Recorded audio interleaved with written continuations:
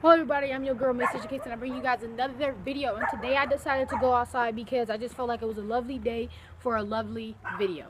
And today's video is another sneaker unboxing as you can see.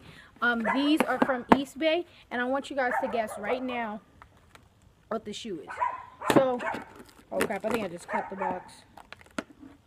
But uh, so Yes, these were a pretty penny, but I think they're worth every dime.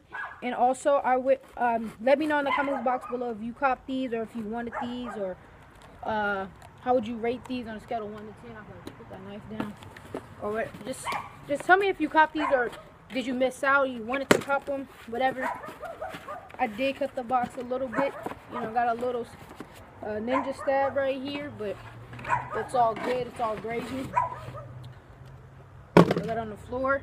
So size four and a half. Of course, you guys can see it is a Jordan with that matte black and gold Jumpman box. Um, I want you guys to guess what it is. Excuse these goddamn dogs. Whew, I'm excited to see these. Everybody has a review that basically up. And yes, sir, these are the white cement fours. And this is my favorite Jordan of all time. This is a grail. I've been wanting it ever since I started collecting shoes. Holy moly. Holy crap. It comes with a sticker, but this is just a, a quick little unboxing vid. Nothing serious. They did us dirty on this pair because it doesn't have the Nike Air right here. A, and it doesn't have the Nike Air in the inside. So they did us very dirty with these pair of shoes.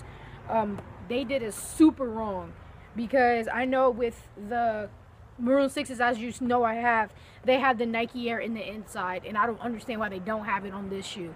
Um, but nevertheless, I am glad to have them. The review will be coming out very, very shortly. I might actually do it right now, might as well. Um, just a quick uh, unboxing vid.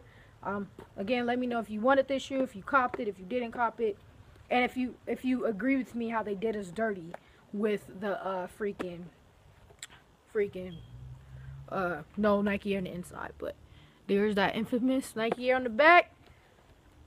I am out. Um, I am done. You know, White Cement 4s, you already know how I do it. Shoe game always on fleek. I'm just kidding. But, uh, yeah, you know, I'm your girl, Miss J Kicks, and I'm out. I am checking out. These stars are just magnificent. So, yeah, I'm your girl, Miss J Kicks, and I'm checking out. Deuces.